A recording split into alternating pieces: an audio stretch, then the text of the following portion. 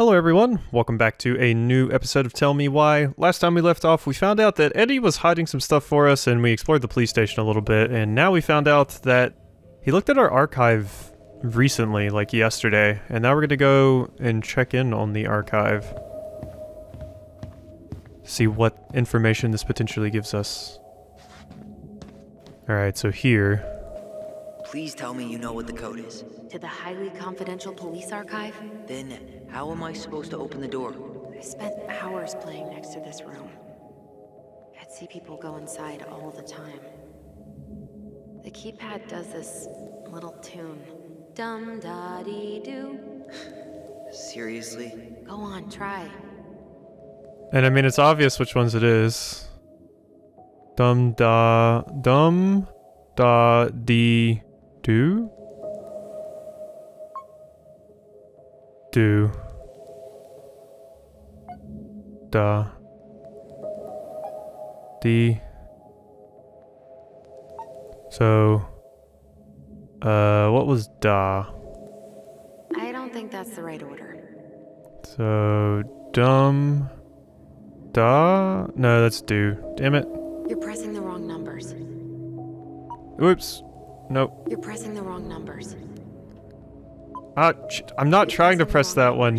I'm not trying to press that one. Okay, dumb. Were you da? No, you were D. You're So pressing the wrong numbers. six zero dum da D do. Yes. There we go. We're in.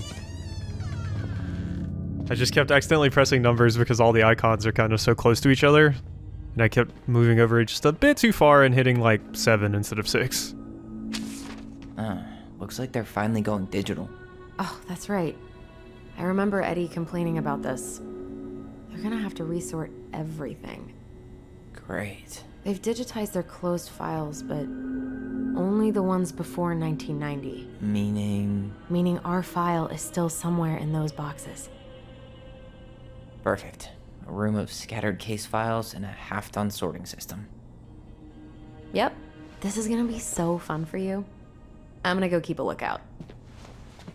What? Why do I have to be the one stuck with box duty?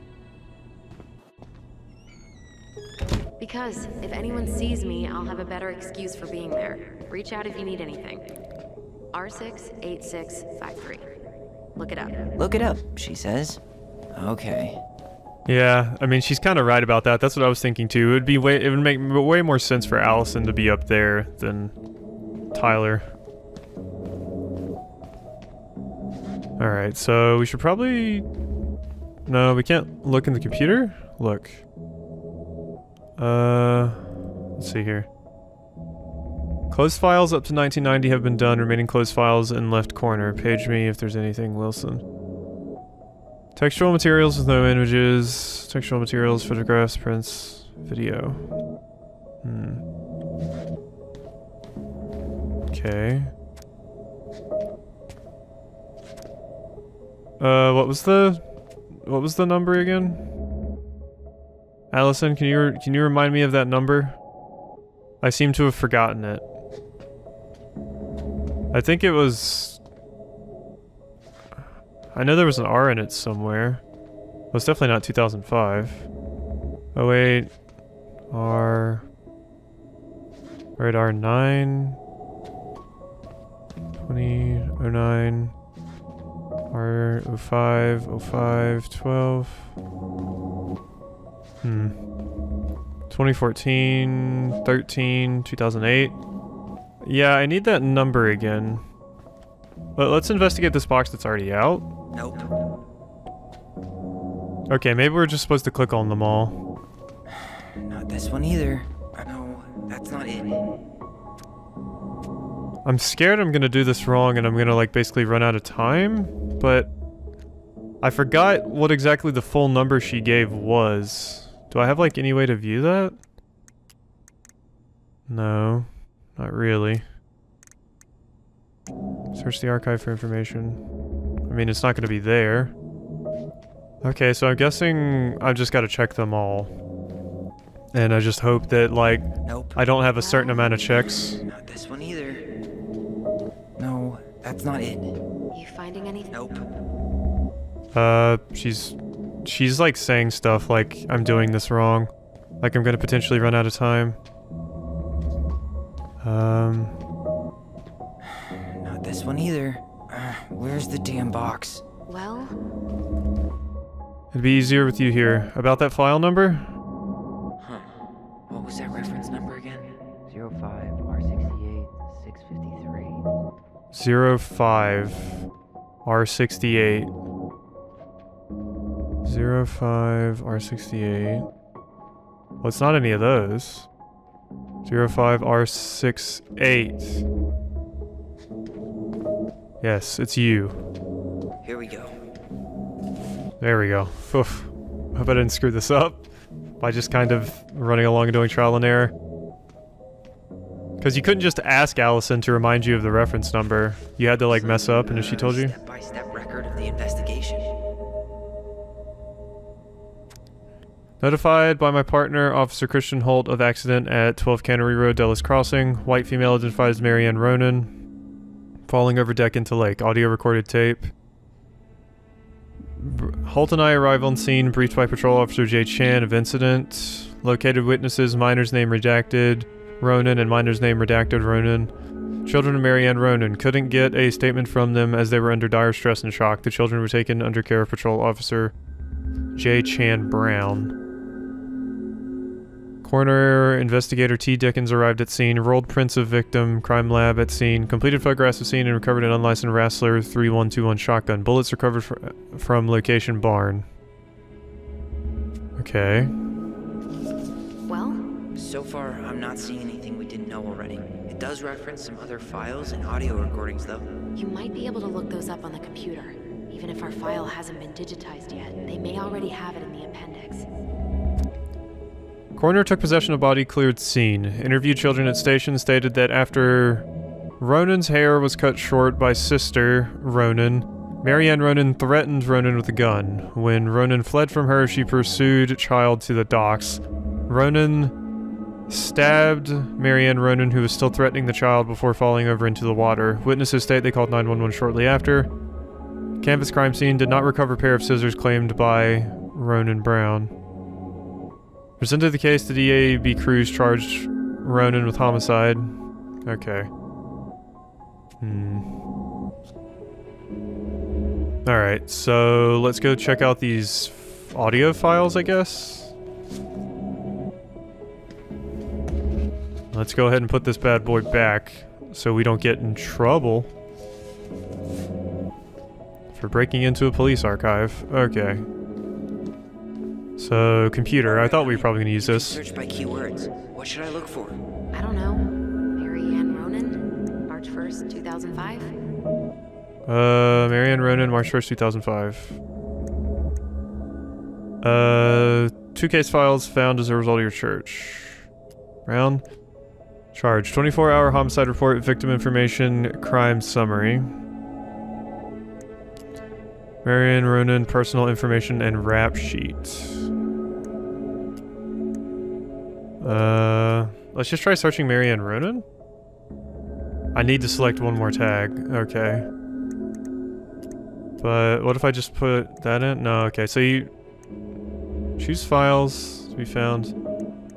But I can't do anything with these really. Like it just tells me Oh, oh, storage. Oh, so that's the crime report and this is the autopsy report. So 05 R61889. Whoops. 05 R61 Reference is 05 R61 889. R61 889. This one. There. Okay. Here we go. Marianne Ronan, Caucasian, height 138 pounds. On docket, late side, victim threatened her child with a gun. Child stabbed her with a pair of scissors. Victim subsequently fell into lake. Okay, this music's getting weird. Wow, this is a real detective novel. Brown's quite the wordsmith. He's not a writer, Tyler.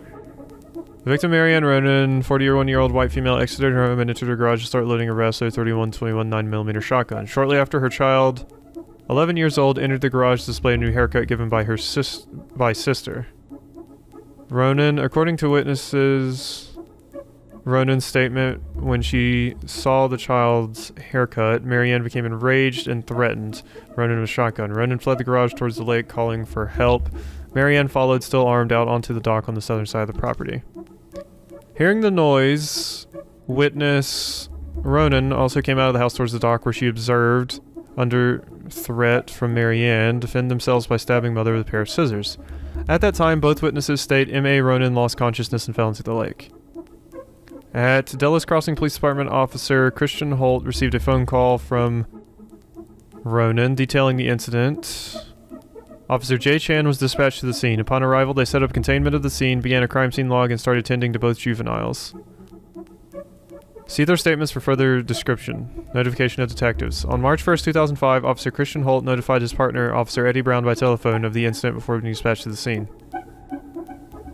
Holt and Brown arrived at the scene at 22.58 hours. They noted the crime scene was located entirely outdoors. Cannery Road is a secluded road, mostly composed of a few residential cottages. Detectives observed a loaded Rassler shotgun on the dock. No rounds had been discharged. They directed forensic personnel to recover items. Detectives were directed to witnesses. Ronan twins. Witness Ronan stated that she heard screaming while she was upstairs in her bedroom. She ran down the stairs and looked over the kitchen window and saw her sibling and their mother, Marianne, on the docks. Marianne was threatening her child with a gun. Tried to run away, but Marianne threatened that she was going to shoot. According to both witnesses, he stated, I'm going to kill you. Ronan then stabbed Marianne with Marianne Ronan then stabbed Marianne Ronan with a pair of scissors trying to escape. Marianne Ronan fell into the water unconscious. Item Rassler, refer to forensic report for further details. Okay. So we gotta look at the forensic report to get more information about the, um, uh, shotgun. Okay, so Marion Ronan, March 1st. Uh, 05R62. Okay. 05R62. Check out 05 R62 766. 05R62. 766. 05R66. No, R62, wasn't it? I think it was R62. R43. 905. R62 miscellaneous? No. 5 R62. Hmm, I'm not seeing it. Is it this box that's already here? Yep, this is it. R62. This one's already been looked through.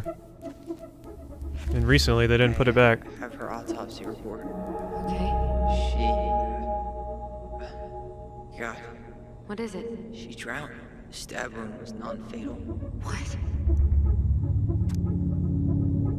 Uh, then on arrival, post drowning. Stab wound, left loin, two to assault sea scissors by daughter.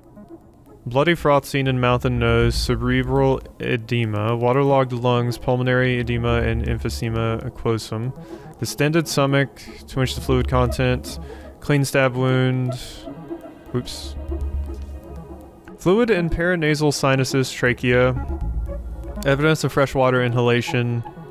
Other conditions uh, contributing but not related to the immediate cause of death. Homicide, if other than known causes. How did injury occur? With scissors, victim then fell over dock into freezing lake water. Was operation confirm- uh, performed? No. Organ procurement. Witnesses to autopsy. Eddie Brown, evidence recovered at autopsy null.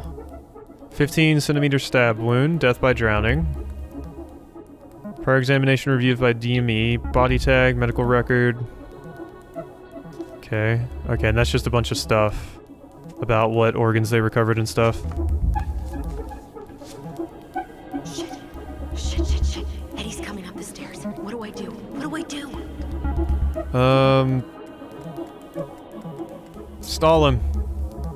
Stall him. No shit, Sherlock. Uh, say I'm in the bathroom. Say I went for a smoke. Say I went for a smoke. I did say that. Say I went for a smoke. Okay. Um, now what do we need to do? Uh, there's more. So, Ronan children and Eddie Brown? Fax report.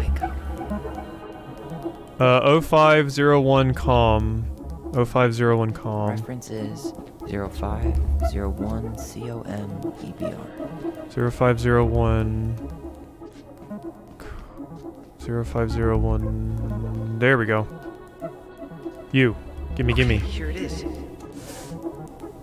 This is the fax receipt, I believe it said. Jesus. Unbelievable. Allie. Tessa called fucking social services on us. And Eddie went along with it. What? Where are you? What's going on? Okay. Recipient, Office of Child Services. Display name Eddie Brown, Ronan Family depos- Deposition. Delivery successful. Okay, so Tessa called Child Services on us, and Eddie went with it. Got it. Okay, there must be more information I can get. Um. So we tried Marianne Ronan Children. Court order. 05 R63325. I need to check out 05 R63 325. 05 R63. 05 R63. This is interesting. I'm, I'm very into this. I'm not really saying much right now because I'm just like. I don't know. I'm invested. I'm really invested. I'm quite interested in what's going on here. Well, that's a picture I definitely don't want to keep. Okay, so order for temporary detention, Superior Court for State of Alaska.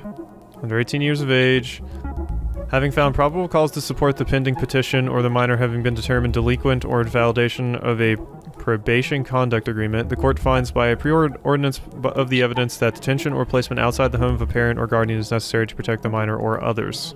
It is ordered that the minor is committed to custody of the Division of Juvenile Justice for detention in a locked or secure facility such as Fireweed Residential Center for Troubled Youth. DJJ has discretion to release the minor without further court order. The above is supported by the oral findings entered on record and contained on the clerk notes as otherwise noted below. Recommended on 3-1805 Superior Courtmaster A. Benjamin, Superior Court Judge Erica Wright. I certify that on a copy of this order was sent to Placement or detention. Okay. So that's just about how Tyler got put in fireweed. I'm glad that has the it skips the cutscene of them of him uh, putting him back. Okay, so we've done Marianne and Ronan children. That's nothing.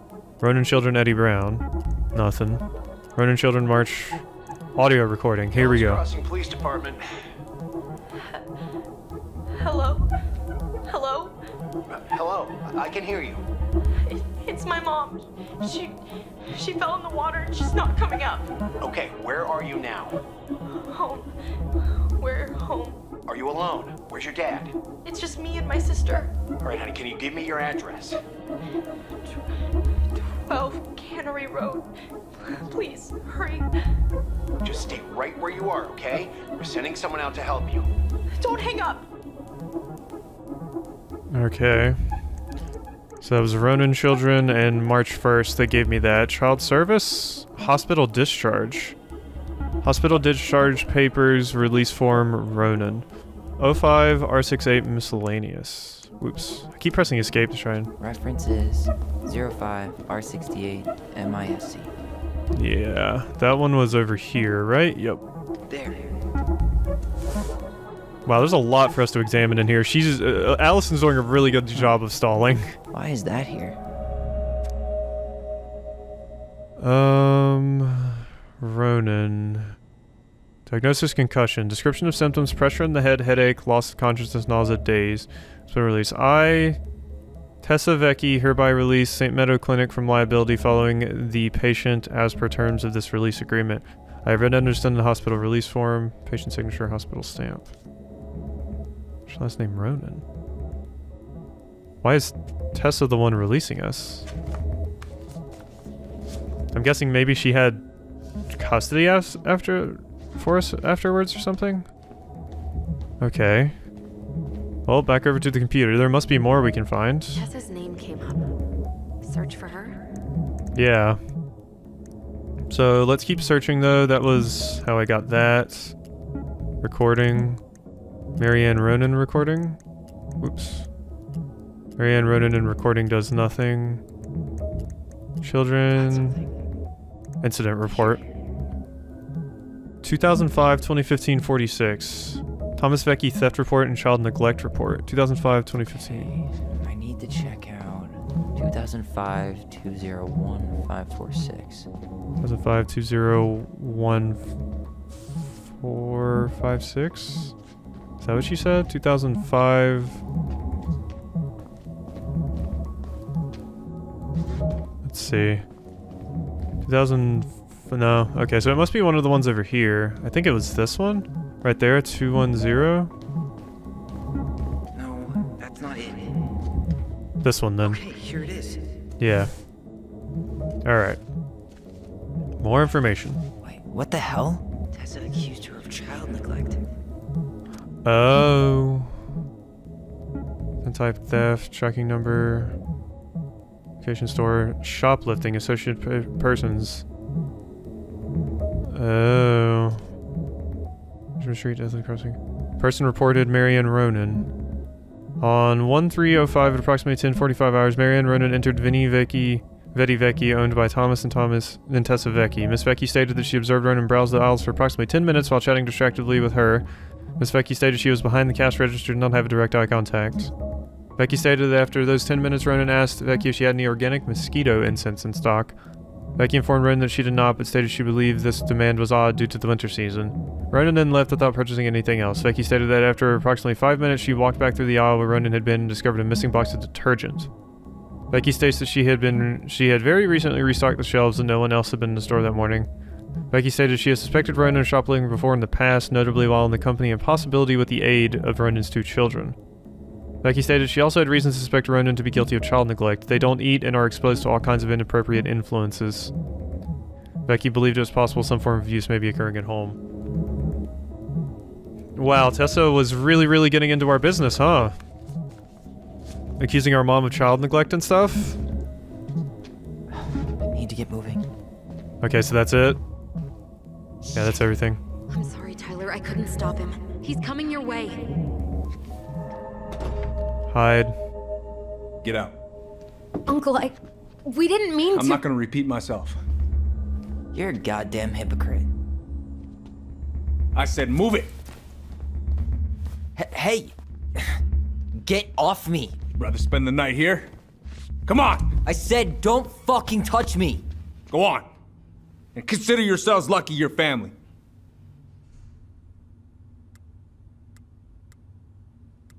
Let's talk in private. You're right. Family.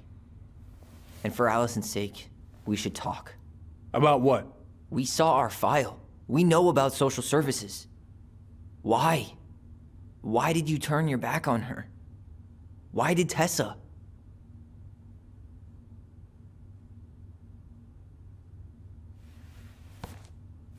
Okay. Yeah, you're right. We need to talk. So maybe that's why Marianne had the gun, because she didn't want her kids taken away by social services? Hmm. The winter before your mother's death was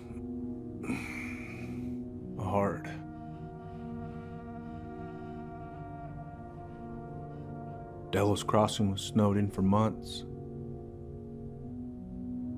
Most roads were closed and plane supplies were scarce.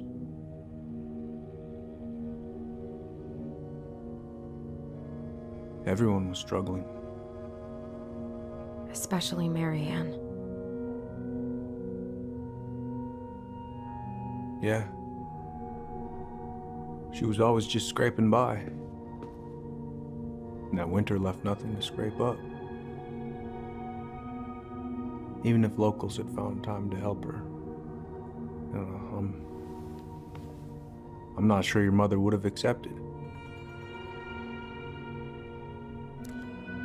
So Tessa came to you. You're saying Tessa recorded our mother because she was having supply issues?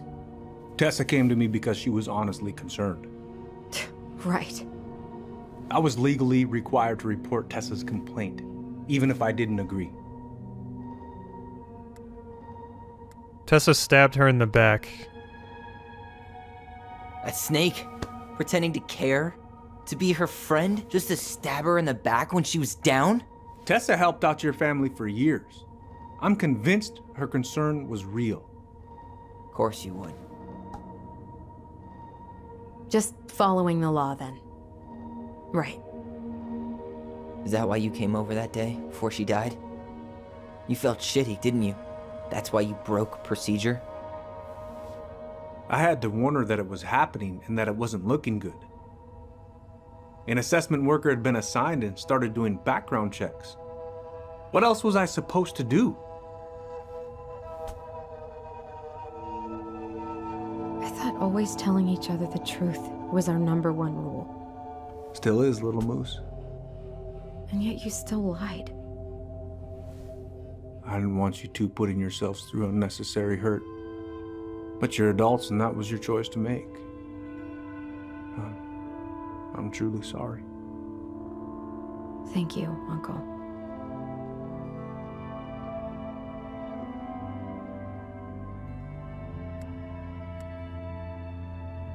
Just like that, huh? Just like that, huh? Must be nice to have a daughter who lets you off the hook that easy. Eddie, you keep trying to point your finger at Tessa, but you have to take responsibility for your part in our mother's death. I've asked myself over and over for the past 10 years what I could have done different. I know I made a big mistake with you two here. And you've got every right to be angry.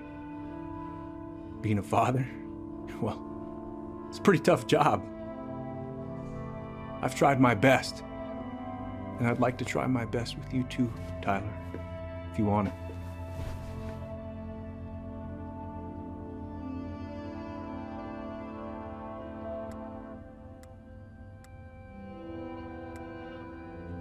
Hmm.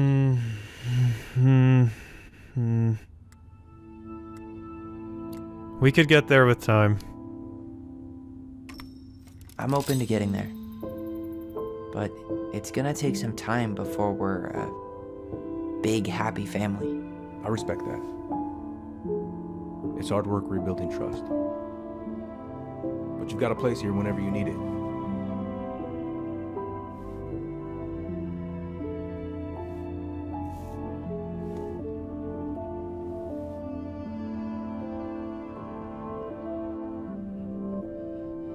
Group hug?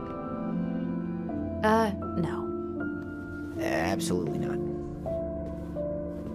Yeah, don't push it, Eddie. I was already pretty nice to you. We didn't have to forgive you. All right, I'm really gonna have to kick you out now. No rest for the wicked, huh? Oh, yeah. Them as wicked as it gets. I'll see you both later. All right. I guess this looks like a good spot to go ahead and end this off. We did some pretty big things there, wrapped up a lot of things, finally got the truth out of Eddie, and I guess maybe we'll be asking, well, we'll go investigate Tessa a bit more now. And it seems like maybe the hunter is social services trying to take her children. Maybe that's why she was like, don't go into the woods because social services will take you and things like that. Maybe maybe social services was the hunter. That's what I'm starting to think. So, hmm. That that particular little segment gave me a lot to think about. So, I hope you've enjoyed this episode of Tell Me Why, and I will see you next time.